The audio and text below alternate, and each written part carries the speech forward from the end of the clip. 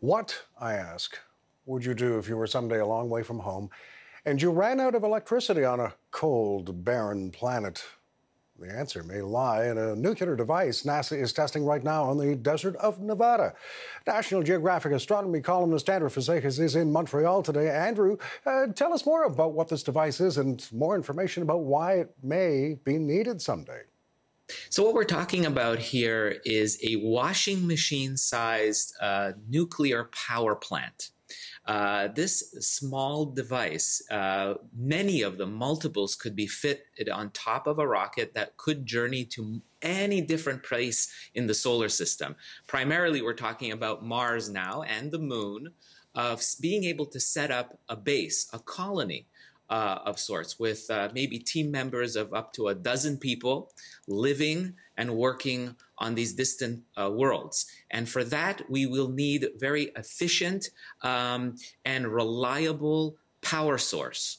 And so these nuclear, little miniature nuclear power plants that's now being tested in the Nevada desert and over the next few months it'll be actually put up to 100% capability is going to be able if we if we set up three or four of these devices on uh, the surface of a world distant world they'll be able to produce enough power to to create uh, uh, you know an, enough lighting, uh, provide a, a, very safe, efficient, and plentiful energy for things that they need to do to, for instance, uh, create water source, create oxygen, um, and, and, and hmm. experiments, and producing fuel for the long journey back to to the earth so these devices are going to be critical these little power, uh, portable nuclear devices to to run everything that we need to do in terms of a colony on a distant world. Hmm. Well, Andrew, it, it, occurs to me that these things that may be so useful on Mars someday uh, could be useful here on Earth someday too. Well, definitely. I mean, any place where you would need efficient power. This, uh, you know, if we go and look maybe, you know, decades into the future, if we can ensure the safety of some a, a device like this, a washing we could actually power for a decade a single household on this washing machine sized device hmm.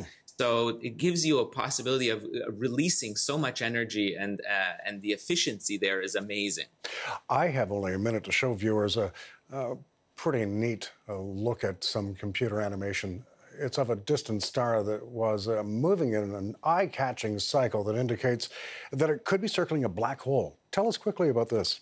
That's right. So we're talking about basically a sleeping predator here, a black hole that is completely invisible to us. And the only reason we, we, we caught sight of it is the motion of this star that's orbiting this black hole. It's moving at speeds of up to 500,000 kilometers per hour, wow. backwards and forwards. And this Ooh. funny motion, the only way to explain it is that there is an unseen black hole that it's orbiting. And this is the first ever that we've been able to detect a black hole uh, using this indirect method. And this will unlock our abilities to understand these very strange uh, phenomena of black holes, which are scattered throughout the universe and including in our Milky Way galaxy. So this is mm. going to be something of a big find in expanding our search for other of these cosmic monsters. The only thing that travels faster than this distant star is the time that you and I get to spend each Sunday with us. National Geographic astronomy columnist Andrew Fazekas. Always a pleasure to see you, Andrew. Of course, clear skies.